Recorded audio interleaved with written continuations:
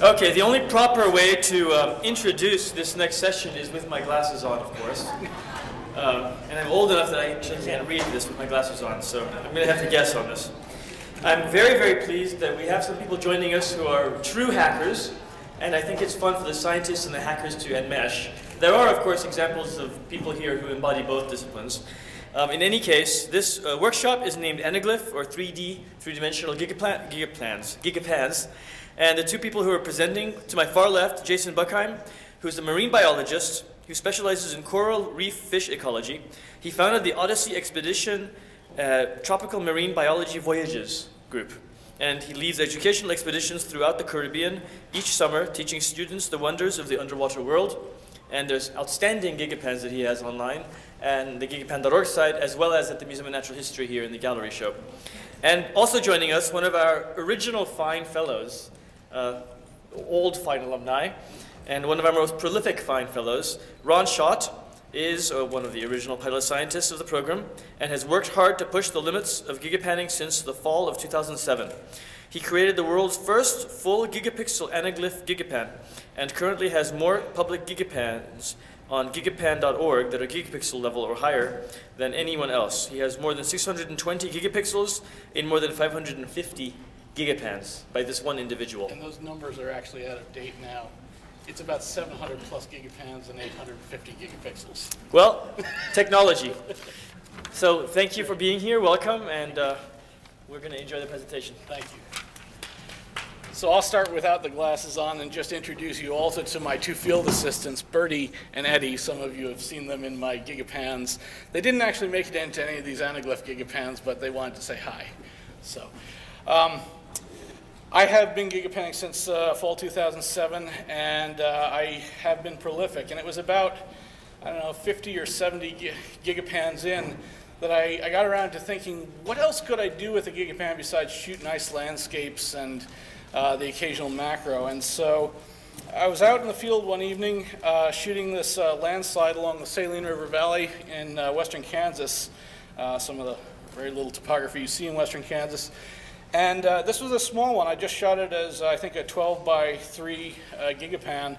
Uh, so it's not large, but I thought to myself, well, why don't I just make an anaglyph of this? And, and the way I did this was the simplest technological way you can make an anaglyph. You set up your gigapan, you shoot one gigapan set of images, you take your tripod, slide it over about a foot, go to last panorama, and you reshoot that same gigapan. That gives you a left eye image and a right eye image, and that's fundamentally all you need to begin to make an anaglyph. So uh, if you have your glasses on, this is, this is the time to put them on. Again, the blue facing outwards, the uh, white to your face. And as you look at the Gigapan up there, as I zoom in, let me get, first of all, to a full screen view.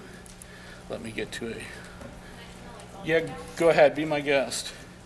Well, it doesn't seem to want to go to a full screen view, but we can still zoom in, and you can really begin to see the 3D effect here with that telephone pole, for example, jumping off the background. Are you all seeing that in 3D? It's looking pretty 3D to me. So that's actually, that's some of the, uh, this was my first proof of concept gigapan uh, uh for, for anaglyph uh, uh, type of, of, gigapans, and uh, I was rather pleased that that worked. Um, when I uh, actually went through the process of, of uh, stitching these and putting them together, I was following uh, this uh, website. This is the Southern California Earthquake Center. Uh, they have a, a, really nice web page here that explains how to make an anaglyph image uh, from two original, a left eye and a right eye image. And you can find this web page very easily on the web by just Googling anaglyph and Photoshop. It's the first result you'll get. And this basically takes you through the, the real basic process. And after I had stitched my two gigapans, I took them into Photoshop as uh, big TIFF images and followed their advice. And, uh, and that's how I got the image that I subsequently uploaded as that anaglyph. So that was, that was my first foray into um, anaglyph gigapanning. Uh, my second, well, after maybe a few more of those, I decided to go a little bit higher tech. Uh, and I decided on this one to go on to the Pacific coast, and uh, this is a dual or dueling gigapan units. Uh, these were both uh, beta units modified with Canon S5 cameras, but I'll go to full screen and just show you a little bit of what the capture looks like with this.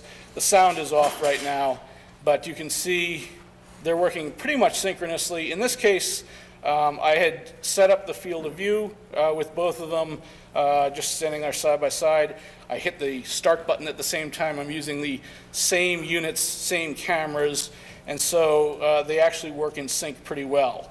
Um, it wasn't perfectly in sync, and Jason will tell you more about how to do it better, but that was the, that was the idea of doing that. And the result of that gigapanning effort was this. This was, to my knowledge anyway, the world's first full gigapixel anaglyph gigapan. Uh, this is the Pacific Coast uh, near, uh, north of Bodega Head, California, um, south of Jenner, California. And it's got these really nice sea stacks that jump out at you in the foreground. Uh, and then in the distance, you can see um, the, uh, the Krummholz on the uh, skyline there and, and other things. There is uh, one point I want to make about this one that shows a little flaw. They weren't quite in sync, and you can see a truck there that has moved between the, the two eye images. But uh, you still get a pretty good 3D effect. It's really nice over here on the house and the porch that really kind of pops out at you. Uh, and you saw the spacing on these two was about a foot apart. So I, I kind of went to that as an optimal spacing. Uh, there is one part of this gigapan that didn't come out quite nicely. When you're zoomed out, uh, you can see this uh, foundation here in the foreground, but if you zoom in too far, uh, it, it's going to actually separate. You're not going to be able to see the, uh, the 3D effect quite the way you should. And, and, that's even more evident in this other gigapan I shot in western Kansas. Uh, this is uh, near Castle Rock in western Kansas, just Badlands erosional remnants. You can see a really nice 3D effect over here where you've got three levels of a view. You got a rock that's fallen off the cliff here in the foreground, a little hump of uh, bedrock in the background, and then the cliffs uh, further out. Um, this was also one where I was attempting to do something scientific, and so I put a scale rod in there. And uh, that scale rod is, is really what I used when I, when I aligned these two images to, uh, to make sure that they were perfectly aligned. And you can actually read into the uh, tenths of an inch on there. So uh, that's using the full gigapan capabilities. Uh, this looks really nice until you see the second scale bar that I put in here, which was really the same scale bar, just moved in between shots. And as I try and zoom in on that scale bar, you will notice that you cannot resolve that with your eyes. They separate. Uh, the spacing between those, the red and blue images, is just too much, and this has to do with the, the way the eyes work and where you make the, the crossing point on these two images. Uh, Jason has done a lot since I've done these, and so I'm going to give it to him, and he can explain exactly how he's solved this problem. Thanks, Ron. So I met Ron. I was driving through Kansas, and there's not much to do in Kansas, so I had seen lots and lots of uh, gigapans coming on the gigapan site from this guy that was a professor at Fort Hays State University. He had actually done one where it was in the quad of the university, and I had explored that before I went to the university. And I, when I arrived there, I was walking around, and I had explored this gigapan before, and I realized that it was a sense of uh, deja vu. I felt like I had actually been there before. But I went up and uh, met Ron, and he showed me this thing, and it got me thinking, well, that's pretty cool, but you can't zoom in, and it doesn't really work when you zoom in. So it's great to print these out, but in zooming in, it doesn't work. So I put my head on that, and I've been working pretty hard on this, and I've come up with a solution, and we're looking at it here, the same spot, but the uh,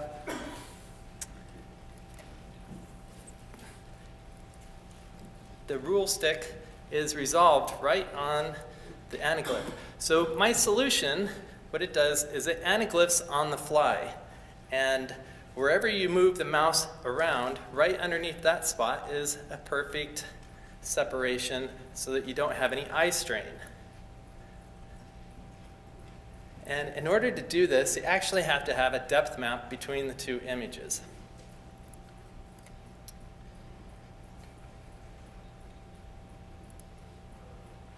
I have uh, created a site here called 3D Pan, And this is pretty much in beta, so if everyone hits it all at once, it might do some strange things. Uh, if, if the screen comes up blue, just hit refresh, and there's a couple people out that are shooting a lot of 3D panoramas. One guy named John Topin in California, and another person that no one knows his name. He just has the uh, username Orbelia. I think his name is Guy, and he shoots a lot in Australia and Europe, and he he does a lot of um, very nice ones with fungi. So we're going to go and explore some of these. Here's one I took at the top of Aspen Highlands. And to understand what's going on, right now my mouse is pointed on the maroon bells, these beautiful peaks. And you notice in the foreground, you can't really resolve that. It's too much eye strain. But if I move my mouse down, suddenly the image moves around on whatever I'm on, and you can resolve what's in the foreground, but it's pretty hard to see what's in the background. This is really basically how your eye works. You're, when you hold your finger in front of your face and look at your finger, you're actually seeing two people in the background, and if you hold your um, same spot, but you look at the background, suddenly you have two fingers. So this is just doing the same thing, and it reduces eye strain on wherever you look.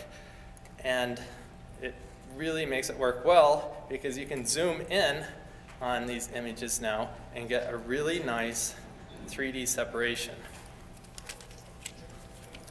Now, well, I shot this, and it was that interocular, so about a foot, um, a little bit more than a foot. I wanted to hike across this ridge, but as you can see in 3D, I got scared.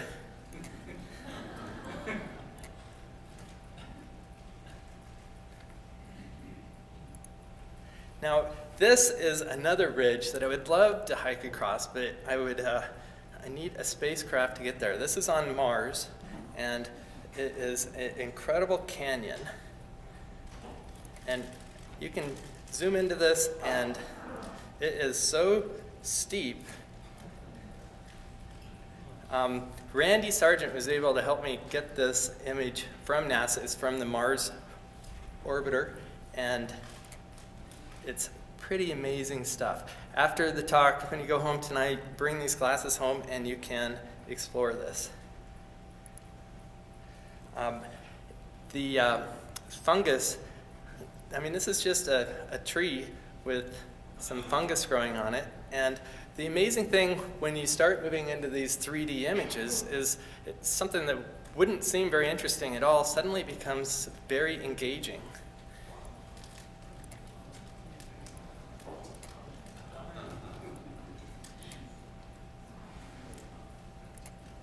And once again, none of this would work in the standard anaglyphing because everything would get out of alignment when you zoomed in.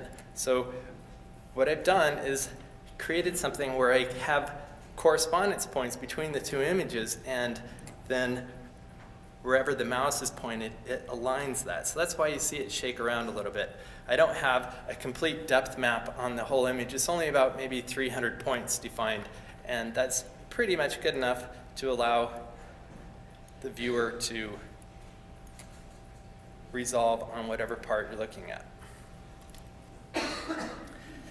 this one, you really get a nice 3D feel with the trees. So once again, images that just wouldn't be very interesting in 2D suddenly become really interesting and you can find yourself engaging in these things in ways that you never realized you could do. And the great thing is it's just 30 cent classes. You don't have to have a very expensive TV or an IMAX theater. Ron actually shot this image. It's of a refinery in Kansas. And it's going to show a couple of the challenges with using the method where you um, stitch with one camera and then move it and do the next. You can see that some of the characters in here, the birds, are not in one eye. And so if you blink from one eye to the next, the birds move around. Um, I'll also point out real quickly that clouds move significantly between the two images there as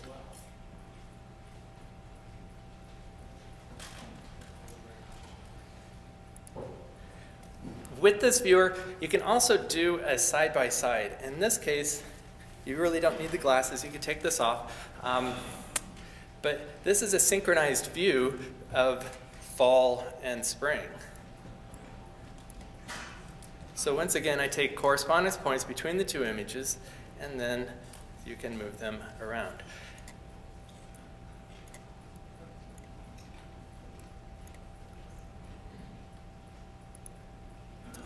I have a presentation that you can look at. It's actually a GigaPan. I decided not to make this as the standard PowerPoint presentation, but instead make it as a GigaPan for you. You might have seen me using this setup earlier that had two cameras on, mounted on one GigaPan unit. That's a very nice way to do this. You don't have to do that though. You can do it with one GigaPan. You can have a friend and you can both set up and um, have it with two gigapans firing at the same time.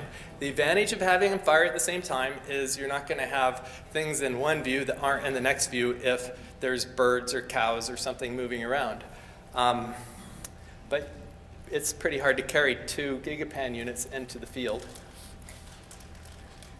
There's one very nice thing that you can do when you mount both of the cameras on one gigapan unit. With the units mounted and just separated, you're not able to capture an entire scene in 3D. And if I just step to the side and demonstrate this, when here's my field of view, and um, when I turn my head, one eye is, if I turn my head, I still get the stereoscopic scene. But if I just turn my eyes, my distance between the eyes is getting closer and closer. So if you are using these two methods, I was going to say, if I'm the second camera, all right, point both of our cameras in the same direction, they're shooting down the same line. There. Right, don't have that stereo-based spread. Here, we lose our separation. So you can't shoot a full 360 spherical image with the two cameras on separate mounts. But that's all right on gigapans because you can shoot something that's very far away. Um, I'm not going to go into every aspect of this presentation because you are certainly able to view it online. There are some alternatives to having to have two cameras. There's a Fuji camera that has two lenses built into it, and people are having good luck with that. There's a new double lens on a Panasonic camera, and there's some sort of mirror attachment that you can put on your camera. And with these, you have a static distance between the lenses. This is some close-ups of the actual unit that I use. It's just a piece of wood mounted with two cameras on it, and I had to make a circuit that would fire both images at the same time. Uh, if you have a Canon setup, there's actually a circuit that you can buy. And on this page, I have the website for it. It's called Gent Stereo Pro and it just looks something like that. And it hooks into the USB ports and would be able to fire both cameras at the same time. I used something called a Arduino Pro Mini, and you can get these for $20 from SparkFun, and a couple relays um, soldered into it. This is definitely a solder project, but then you can uh, create your own release. So this is less than $30 worth of pieces. And it's in high resolution. I don't know why it's not resolving. Okay, some different methods of viewing. There's parallel and cross viewing, and this has been around for ages, the stereoscopes. There's going to be a new application Hasbro is coming out with that should be out by December that allows you to view these on an iPhone with this little attachment that sticks on the front of your iPhone and you have a left and right view and it's going to move around wherever you're looking is the scene that you're going to see. The anaglyph is a great way to view because it's just 30 cent glasses and it doesn't distort too bad. If you have a lot of uh, money, you can buy two projectors and outfit everyone with polarized glasses, and this is what the IMAX theaters do. And the TVs, for $2,500, you can buy a nice 3D TV that has $100 shutter glasses that are flicker back and forth. This site that I've put together, 3D Pan, will allow you to view these in any of those methods, cross view, parallel view, anaglyph, or shutter glasses. And of course, you can um, anyways, the uh, special considerations for gigapans. You need to think about your stereo-based separation. I've outlined some math here for you, but it, I, they'll, we'll make it a bit easier for you. You need a 130 rule. So the minimum object distance you're taking a photo of is uh, divided by 30, and that's how far apart you'd like to have your trees. So if you put, I mean, your stereo-based separation, just looking at a tree. If you put your images, if you put your glasses back on, we can look at this image of these trees. And I have done something here. We have hypostereo, orthostereo, and hyperstereo. Ortho is what you would expect your regular eyes to see on this really crazy live oak. Um, and hypo is when there wasn't quite enough separation, and hyper is when there's a lot of separation. Hyper has the effect of making things look smaller and further away. So it's kind of a way to minimize, kind of like a small town effect. But it can be hard to view that way. And these are the uh, same images in cross view. Now, this 3D pan site, here's a demonstration of exactly what is going on. You don't have to have images of the same size. They don't have to be the same resolution. You just set the relative zoom ratio between the two, and then you go through and you pick out points that correspond between the two images. And as I move my mouse around here, you can see how it's shifting around. So wherever underneath where the mouse is, is where the perfect anaglyph part takes place.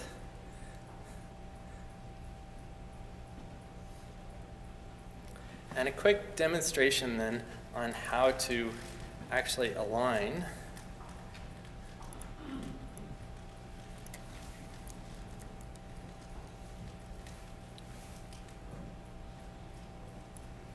And you're welcome to do this.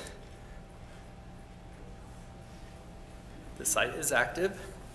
What you need to do is you take your GigaPan ID for each image, in this case, it's 34819 and 34816. And on, you can email me for a password. And then you're going to add correspondence points. So what I'm going to do is I'm just going to zoom in and find a point in this image.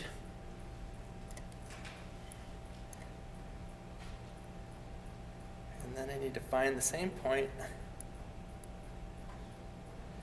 And right now it has none, so it's a bit challenging.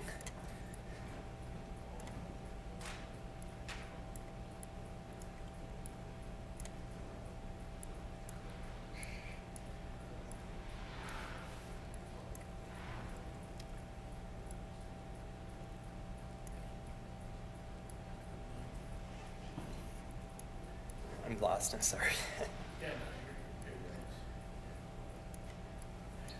This wasn't a good image to choose because they're so different sized. the hardest one to choose.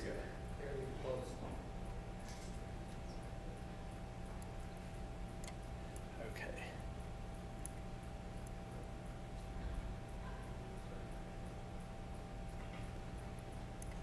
So I can just add a correction point. Now, in order to really get this working well, I need to add lots of correction points. Because what's going on is it's changing between the two images. And my viewer takes the average of the four nearest neighbors and moves it around to that. So once I get four points aligned,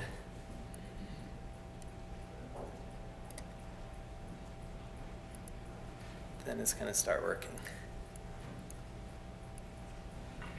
Now, I'm sure there would be some ways to do this with some fancy software that xRez Studio has, and finding some points that would line up automatically.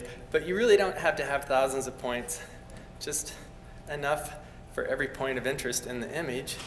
And then the fun thing about this is you get to engage yourself with the images and get to know them very well.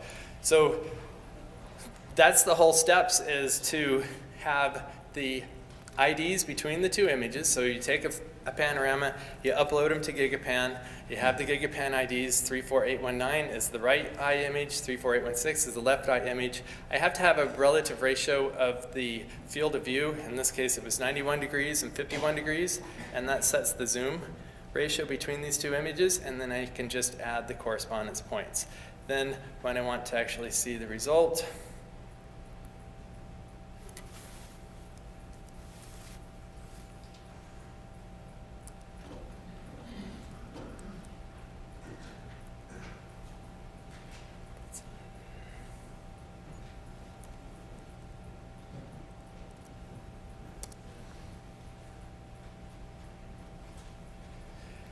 And this site takes a couple seconds to load up.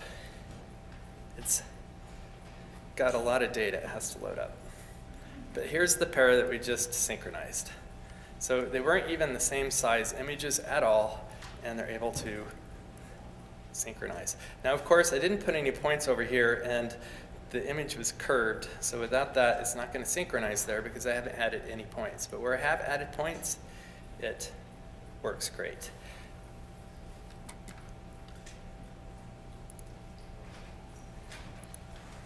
Um, Randy wanted me to show a couple other things on the 3D Pan site.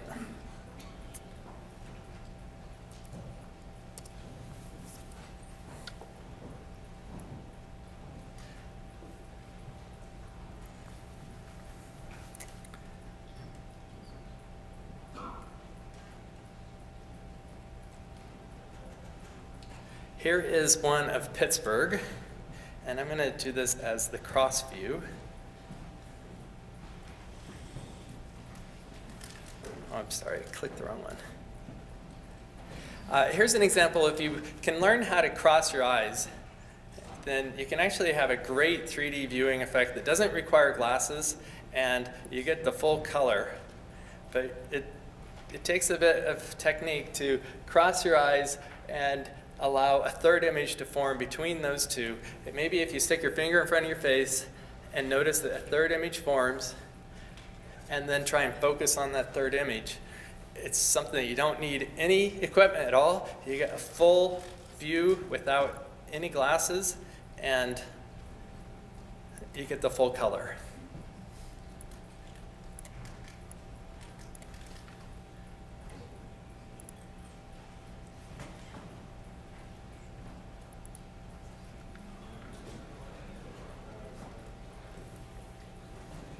Okay, this is the uh, view that many people take of the campus, and it's synchronized between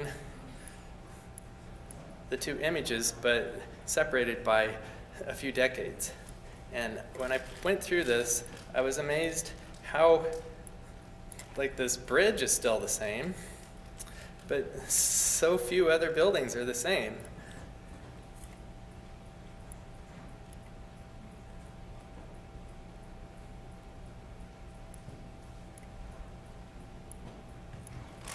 There's these huge cathedrals in the old image that don't even show up in the new image.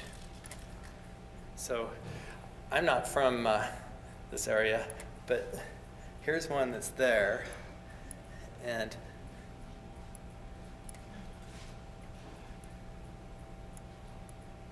here's one that was replaced.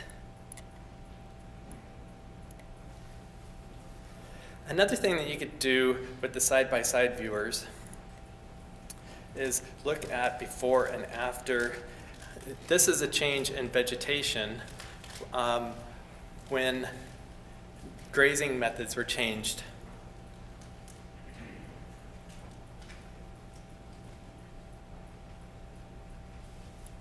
Of course, the lighting is just a little bit different.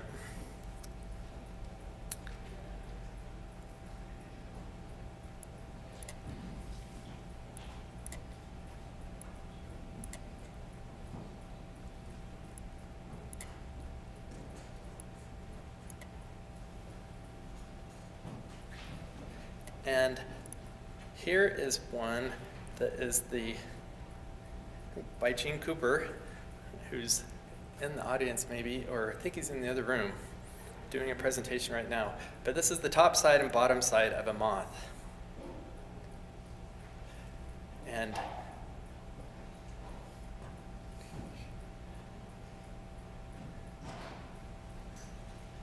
it's not going to be in 3D, but you can see if you close one eye, you see one view. If you close the other eye, you see the other view, the top side and the bottom side. And this is fully synchronized. He did an amazing job lining this up.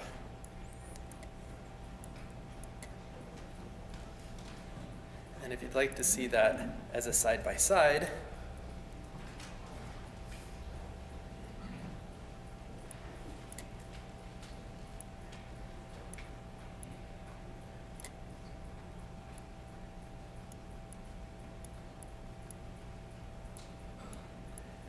he has a microscope set up in the back that kind of displays how he produces these.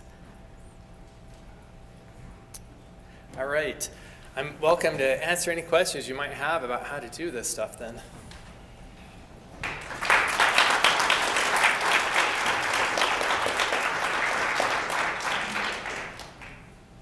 We have time for a few questions.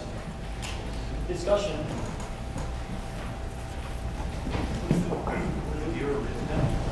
Uh, this is all entirely written in ActionScript, so it's a Flash viewer. And the underlying viewer is something called KRPano. And there's a, a big hack in order to display two KRPanos within one script. So don't try it at home. It's available for you to use. Just plug in your IDs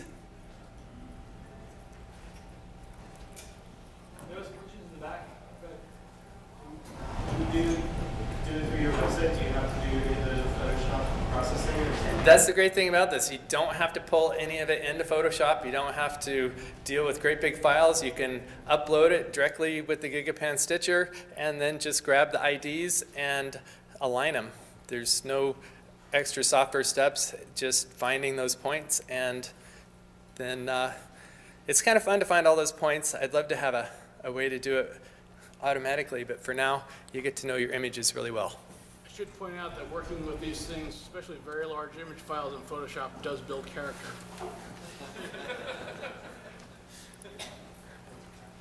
Are you familiar with PT GUI? Sure. PT GUI is a great program. He, uh, you, you, in the new version, you can save off the control points. Mm -hmm. You might be able to use that instead of control points, aligning them together. It'd be very easy to do that. I've already got it. I just don't have the script to pull in those points, but it might be a better way to make the control points. You might be able, in AutoPano, you can just kind of paint regions and create control points. So lots of ways to automate this, just haven't done it yet. But once again, you don't need thousands of control points.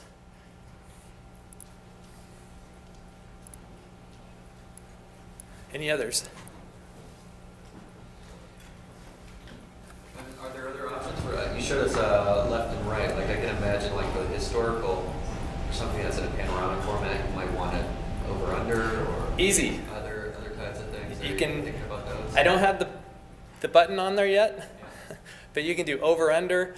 Uh, you could mirror them. You could do left and right. You can do the anaglyph. You can do a swap view where it swaps it very fast.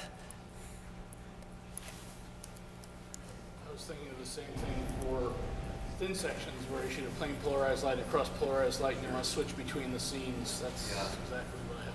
Or if you want uh, some interpretation of the image. I'm going to ask a question. What's next?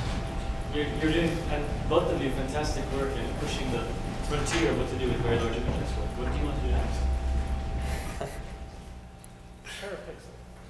That, that, that's for me the next goal. Resolution. No, Terapixel total uploaded into this.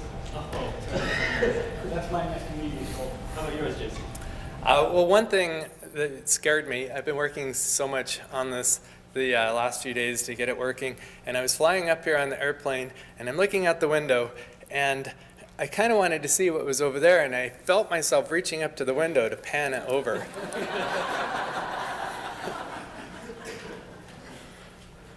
I really like underwater um, gigapans. I'd like to create a uh, underwater gigapan setup. That's my next goal would be able to have some very engaging imaging going on underwater. Well, we have NASA here, they want that too, and we know many, many uh, biologists marine biologists who also want that. So I think we have a good team of users for you. Great. Well, let's thank Jason and Ron again.